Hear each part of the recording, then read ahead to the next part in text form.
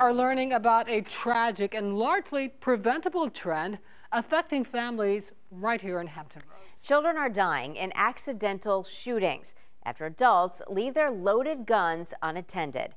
10 on your side's Kiana Patterson has the latest. Above car accidents, guns are now the leading cause of death among children, and an expert says there is a surge in accidental shooting deaths. In April, two three year olds in Portsmouth and in Newport News died after police say adults left their loaded guns unsecured in their homes. An eight year old was injured in Norfolk this month after police say she accidentally shot herself with her uncle's loaded gun. Lindsay Nichols is a policy director at the Giffords Law Center.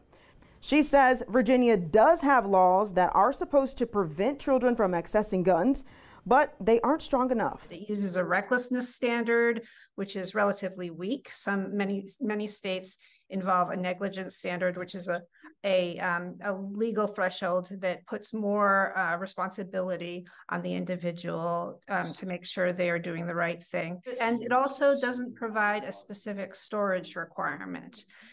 As a result of all these factors, this provision is rarely enforced in Virginia, and it also isn't known about. Recklessly leaving a loaded gun around a child is a misdemeanor in Virginia, punishable of up to 12 months in jail.